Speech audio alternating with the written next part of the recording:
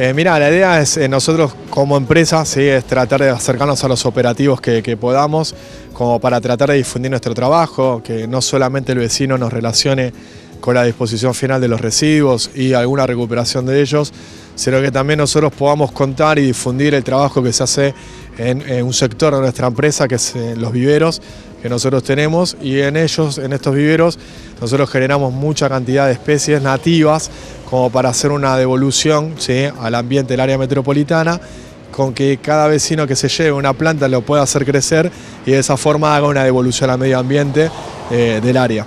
¿Qué pasa cuando la planta crece? ¿Qué tipo de planta es y qué sucede?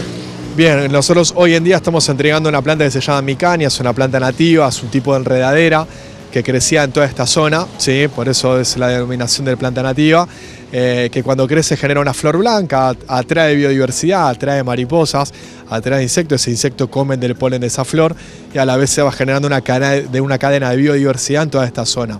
Esa es una de las importancias, una de, eh, de los aspectos más importantes que tiene esta planta que nosotros entregamos hoy en día. ¿Y regularmente dónde la debe plantar la gente?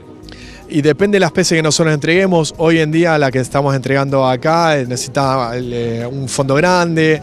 Eh, si no tiene fondo grande, solo explicamos que puede llegar a tener algún macetero, pero con una un cierto tipo de cuidado, con cierto tipo de, de, poda, en algunas épocas particulares del año, como para que esta planta pueda crecer, pueda desarrollarse y a la vez no afecte nada que tenga plantado el vecino en su casa.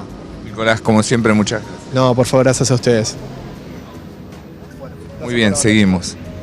Aquí estamos. ¿Qué, le estamos dando? Disculpe. Estamos dando plantas que se llama micaña, es una trepadora que eh, crece de 2 a 8 metros eh, y da una flor blanca que atrae mariposas. Muchas gracias. Eh, ¿Qué tal? ¿La va a plantar? Buen día. Sí, para la abuela que le gustan mucho las plantitas y aparte interesante porque viene con un rótulo que dice qué clase de planta es y la acabo estoy leyendo. Excelente. Crece de 2 hasta 8 metros, mira, y me sigo enterando.